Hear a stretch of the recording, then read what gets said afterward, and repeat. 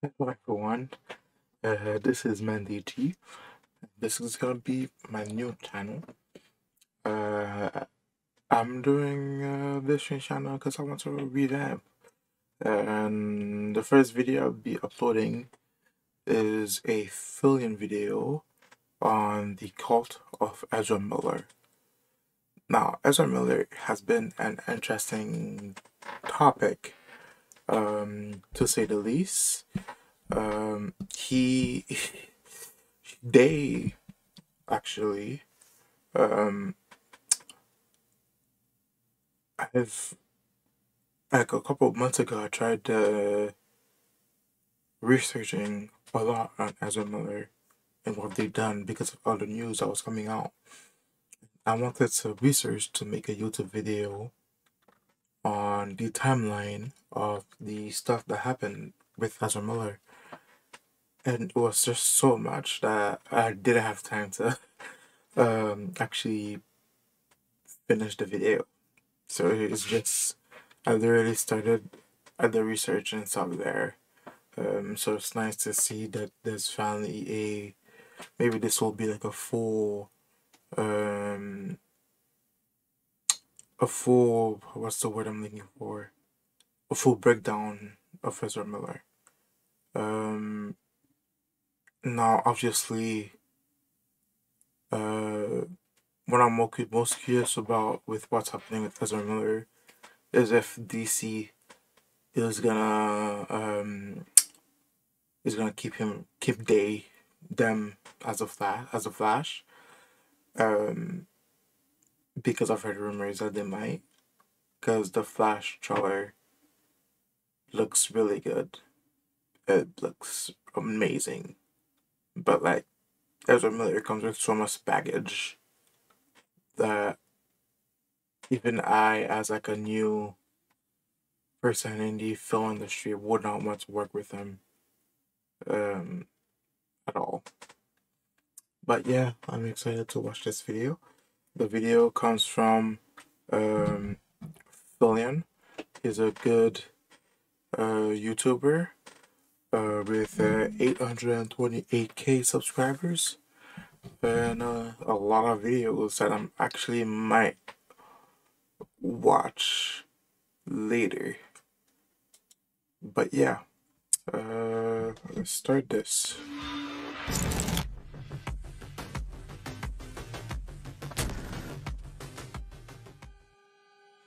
Hi, um, this is Ezra Miller. Oh! This morning, Ezra Miller pleaded not guilty. Let me, let me put the text.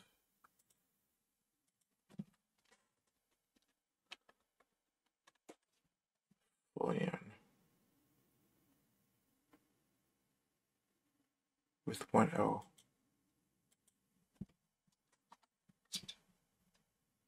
Uh,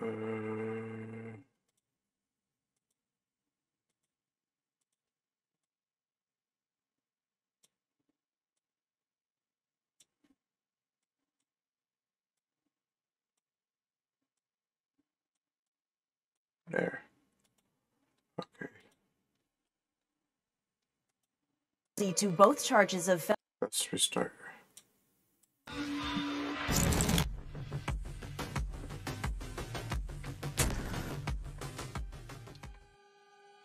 Hi, um, this is Ezra Miller.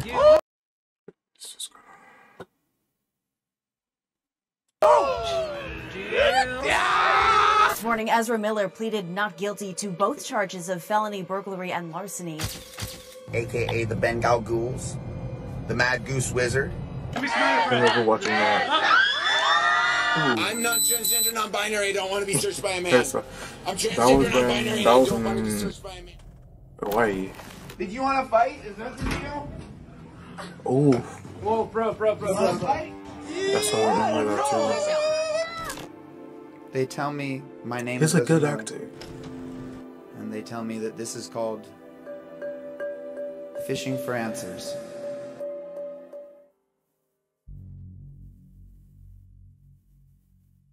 Ezra Miller was on track to become a Hollywood A-lister from an He early was. age. In 2008, he dropped out of high school at 16 after the release of his first film, After School. Just two years later, he had a lead role in Beware the Gonzo and another role in Every Day, which both premiered at the Tribeca Film Festival. Ezra quickly became well known among management Didn't even want to corporations and found himself landing even bigger roles in more popular I'm gonna burp, films. Some of these earlier performances include cameos in the Showtime comedy series Californication and the film We Need to Talk About Kevin. However, most consider Ezra's breakout role to be in the 2012 film The Perks of Being a Wallflower. These roles may have tested his acting, but the opportunity of being cast as a superhero seemed all too enticing. That's why Ezra's most recognizable character came in 2017 as The Flash in DC Comics How Justice many League. roles did they have?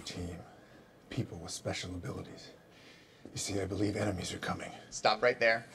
I'm in. As good as an actor he may seem, Ezra's choices outside the studio point towards a more disturbing reality. When Ezra was 19 years old, he had his first run in with law enforcement. On June 11th, 2011, Ezra was found with a quote, brown vegetable material during a standard traffic stop. He was charged with marijuana possession, but a New Jersey judge dismissed the charge and issued him two disorderly conduct citations and a $600 fine. Everyone deserves a second chance, but this may have been the first mistake that led Ezra to believe he could escape the law. Around the same time of his marijuana possession, similar to our old friend Jared Leto, Ezra was part of a band called Sons of an Illustrious Father. It seems Hollywood degenerates must complete their Guitar Hero prerequisite before allegedly abusing any girls. In 2012, the public got a deeper look into Ezra's life, who openly stated he struggled with a confused adolescence and came out as queer, but never fully accepted the term and avoided using it. You did an interview with Out Magazine. So you mhm. say, I'm queer. Word. The use of the word queer. Yeah, word. What is it? What does it mean? You didn't really define what it meant. It means that like I I think at this point um in our world uh we've got a really confused uh, idea of the way gender and sexuality works and I think we've created this really superfluous sort of like uh, binary uh, um, in in the way we think about gender and I I guess I, I identify as queer because I don't I, I, I don't identify with that. I, I think that makes us less whole. Wait, He, or they, later rephrased what? He identifies as queer, but doesn't identify with it. I mean, I, I agree that uh, people online nowadays, uh, they don't, uh, they always, they sometimes fake being queer. I don't know if I'm saying that correctly. Um, they they over exaggerate things sometimes people online. But wait, let me listen to that again. idea of the way gender and sexuality works, and I think we've created this really superfluous sort of like uh, binary uh, um, in in the way we think about gender. And I It's a I good guess I- conversation I- to I have. I've never had this as I conversation with I, I, I don't identify with that. I, I think that makes anyone. less whole. He queer. or they I'm later rephrased his following what I identity and is quoted as saying, I don't identify as a man, I don't identify as a woman. I barely identify as a human. It's hard to What know when you Ezra is being as, genuine, as he often maliciously uses the LGBTQ community's ideology to justify his own, quote, non human, untouchable God complex upon those around him. It's not uncommon for young actors to stray from their path of success. Oftentimes, adults use them and disregard any industry trauma associated with Hollywood's hidden vices. For That's example, true. during an interview in 2018, Ezra told the press of an incident that occurred earlier in his career with an unnamed director and producer. Ezra publicly said, They gave me wine and I was underaged. They were like, hey, wanna be in our movie about gay revolution? And I was like, no, you guys are monsters. There is no way to know the validity of this story as he doesn't name anyone involved, and no facts have come out since then. Nonetheless, Ezra didn't let anyone stop him. In 2014, Ezra landed a significant franchise role as Barry Allen or The Flash. This role undoubtedly fed into his ego and gave him all of the wealth he needed to quite literally do whatever he wanted. Clear signs of mental distress combined with a Hollywood salary never makes for a happy outcome. Dealing with unaddressed trauma as a youth, the full scope of Ezra's abusive behavior What do you manifested as an adult. The years ahead would shed some light on Ezra's private 16, life and how he acted off camera. From an acting standpoint, Ezra loves to get deeply involved in his roles and method act for certain characters, which shouldn't be confused with his delusions of grandeur. To start things off, in February of 2020, while filming for his upcoming movie, Fantastic Beasts, Ezra converted his Airbnb in Iceland into a spiritual commune. One participant claimed everyone, which included a series of artists and expats, was hypnotized, and people began to believe they had mystical powers. Also, the Airbnb had uncomfortable beds, which is why today's video is sponsored by Helix. Helix Wow. Sleep makes premium mattresses and bedding, customized to fit your needs, conveniently shipped in a box, right to your doorstep. You don't even have to leave your house. Everybody's different. Sales pitch about an uncomfortable, overpriced mattress. Your new Helix comes rolled in a box to you. I actually had fun setting up my new mattress. It took me just under 5 minutes to carry it up the stairs and watch my new bed come to life. You don't even have to take it from me. Sebastian wouldn't be sleeping on it if it wasn't the best. If it makes you nervous to buy something that you haven't tried yet in person, Helix offers a for when I move. 100 night sleep trial. This gives you a little bit over three months to completely fall in love with your new bed. And if you don't, they will come and pick it up for you, no questions asked, and you will get a full refund. Best of all, every Helix comes with a 10 year warranty. They offer flexible payment plans and even have financing options available. So, at the Airbnb Thank you to Helix for sponsoring this video. Other people at the Airbnb also claimed that they were afraid of Ezra's erratic behavior and emotional outbursts. As Barry Allen, the fastest man alive, and Credence Barebone, a troubled orphan, Ezra was bound to come across thrilled DC and Harry Potter fans wherever he went, though one fan in particular received a bit more than expected. That was messed up. I remember that. In April of 2020, a fan greeted Ezra outside of a bar in Reykjavik, Iceland. Little did she know Oh, it was he was answer. having absolutely none of it. Learn it? Did you want to fight? Is that the deal? Whoa, bro, bro, bro, bro, Want to bro. fight?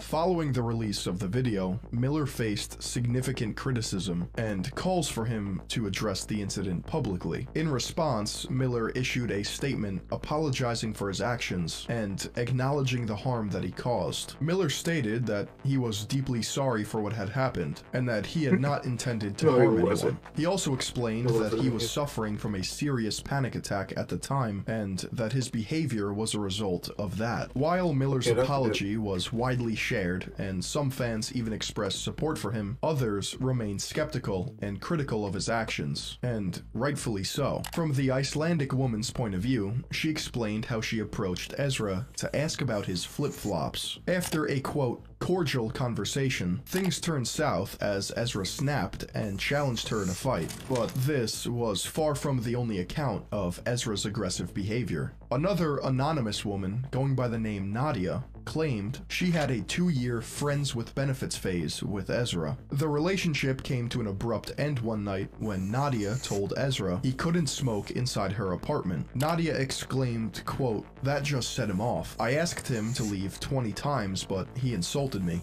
called me transphobic and a Nazi, while spreading tobacco leaves on the floor. At one point during Ezra's Wait. That just set me set them off. Nadia explained, asked him to leave about twenty times. More, more. They started insulting me. I'm a transphobic piece of shit. I'm a Nazi. The latter accusation would be egregious on Miller's part, as Nadia is a descendant of Holocaust survivors.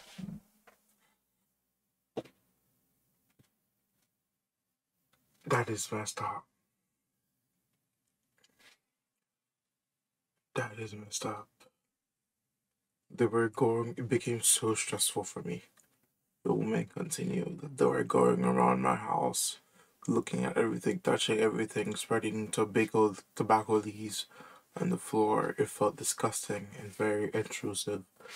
Nadia stressed that she never felt at risk of sexual assault, though she did feel as though Miller could somehow attack me physically. She, she added she felt, totally felt unsafe through the during the whole ordeal. Tantrum, he is quoted as saying, I am the up. maker of planets.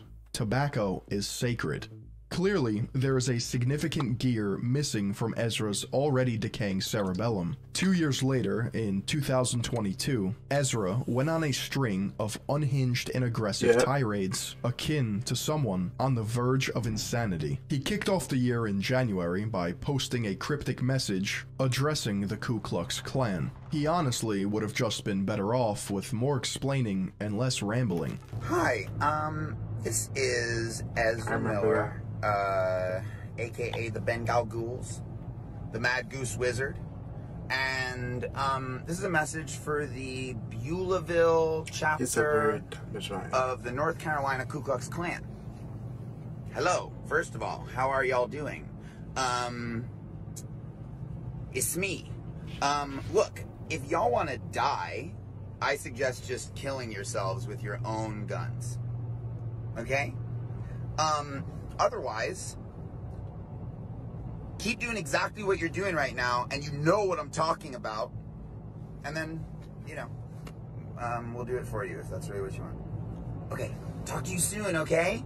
Bye! It evidently shows that he is incapable of controlling his anger. When he lashes out, it's basically at random. A fan on the street, a woman he had a relationship with, some KKK chapter in North Carolina? Although, sure, why not? There is no method to this madness. Ezra's anger is effectively levied against anyone at any time, and headline after headline indicate a massive disconnect between his mental state and the reality around him. Just two months later, in March, this time on a Zoom call, Ezra was charged with disorderly conduct and harassment stemming from a late night fiasco at a karaoke bar in Hawaii. The Hawaii police stated Miller began yelling obscenities and grabbed the microphone from a 23 year old woman singing. He also lunged at a man playing darts and was told to calm down several times. Nonetheless. Ezra's behavior only landed him a $500 fine, while two additional counts were dismissed by a judge. Not only did he fight patrons at a karaoke bar, weeks before, cops were called for another disturbance at a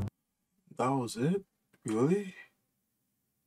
A hundred dollar fine. And then the two other ones were dismissed? Stop.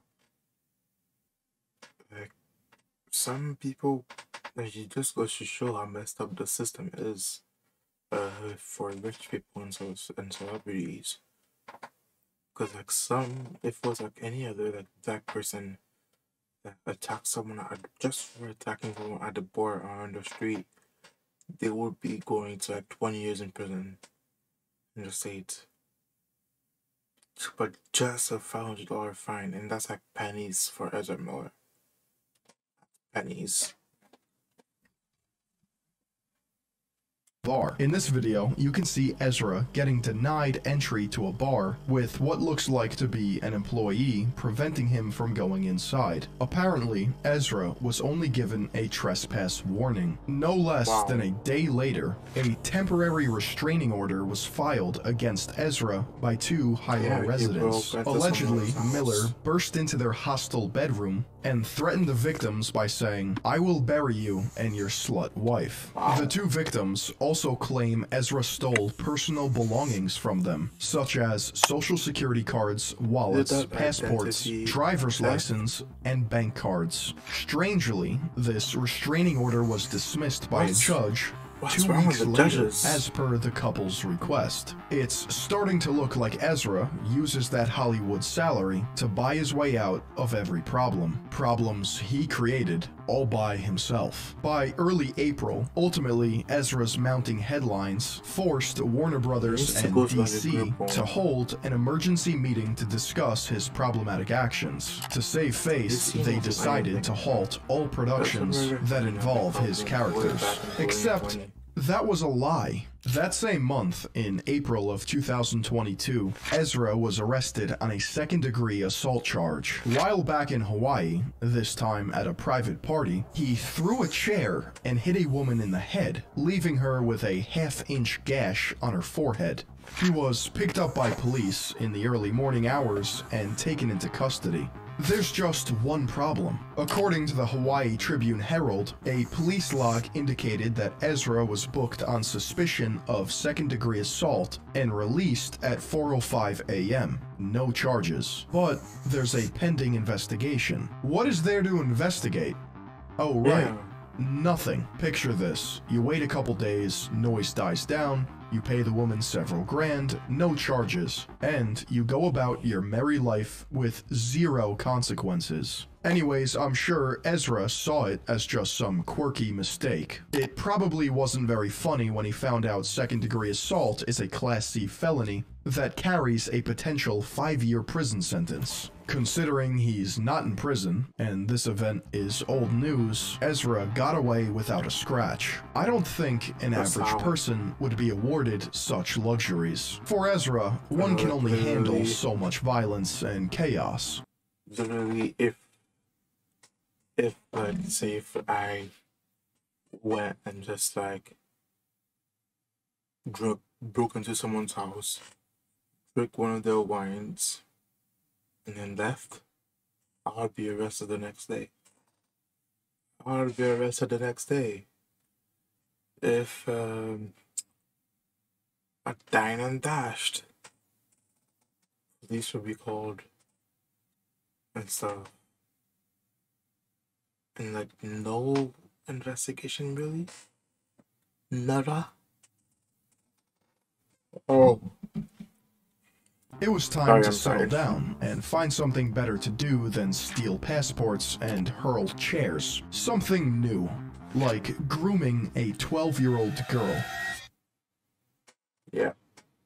Ezra Miller has always made his activism known to the world. In separate from the 2016, at a protest against the Dakota Access Pipeline, 24 year old Ezra Miller made friends with a 12 year old activist named Tokata Iron Eyes. First of all, Excuse me? She would listen to his music and hang out with his band, and Miller kept in touch with the young girl, promising to support First of all, what's wrong with the parents? because there was something wrong with the parents allowing their child to keep um, hanging out with this 20 over something year old man and not do anything about it, not do any supervising, allowing her to go to this to the flash studio set alone. Like my parents, I 18, at 18, my, my mom would have come with me. Like, at 18, if I was invited to a set and I had to travel to get there, my mom would have either had my, older sister or my dad or herself come with me. She would have never allowed me to, or she would not have even, even allowed me to go. Like, no way. Or he would have like say for example, my little sister once went on a trip, a camp a camp trip, um to LA and to accompany her they first went to New York to my aunt's uh, place. Then my older sister accompanied her to LA and make sure she was good. And then left. And then my little sister went back to New York after the trip was over. So yeah, there was no way they were gonna like let I think it was my little sister that went. Either her or my dad. One one of those two. They were they're just it's common sense not to let a twelve year old go alone to a set. That's how I look at her future music career. According to Tokata's parents, Ezra even came by their home several times unannounced. In No. 2017, he flew her out to London to see the set of Yeah, Fantastic that's what I'm talking Beasts. She was 14, he was 25. Her parents 25. allege that he tried to sleep with her in the same bed and even gave her drugs and alcohol. This bizarre relationship got even worse when a family friend claimed they saw Ezra and Tokata having sex in They had 2021. Though Tokata told the media the claims were so very false. The same year, Ezra tried to convince Tokata to drop out of school, probably because Ezra himself didn't finish his own education. And whether Ezra knows it or not, his behavior aligns with that of cult manipulation. Tokata's parents were granted a protective order from the courts, preventing Ezra from interacting with her or her parents. However, the courts were unable to serve Ezra papers as they had no idea where he was. Before deleting his Instagram, Ezra brazenly taunted police by posting an image that read, You cannot touch me. Mm, I I am in that. another I universe. Does he actually think he's the Flash? Yeah. So, where in the world was Ezra Miller and Tokata Iron Eyes? With increasing pressure from the media and the news of their alleged sexual relationship, Ezra took Tokata, hopped on a plane, and flew to Vermont to stay at his family's 96 acre farm. Days later, other house guests, along with Ezra, called to Tokata's parents to tell them that she was incapacitated after having taken LSD. You'd think taking her to the hospital would be the best course of action. No. According to her parents, who flew out to Vermont immediately, Tokata was found incoherent and voiceless. She had screamed so relentlessly that she had lost her voice for several days. Let's reiterate that a 24 year old befriended a 12 year old, groomed her for five years, fled to a hippie farm, and created an environment that introduced her to sex and drugs. Not only did she partake in the use of hard drugs, she quite literally tripped into another dimension. She was found covered in bruises, which she claims were self harm, inflicted due to the loss of her close friend. Luckily, an eyewitness had been with Ezra and Tokata on multiple occasions, giving credibility to Ezra's alleged abusive and groomer behavior. Oliver Ignatius, a longtime music artist and friend of Ezra, witnessed Ezra's verbally abusive treatment of the then 18 year old Tokata in both Hawaii and Vermont. In Hawaii, Oliver saw Ezra confiscate Tokata's phone and pressured the girl to change her name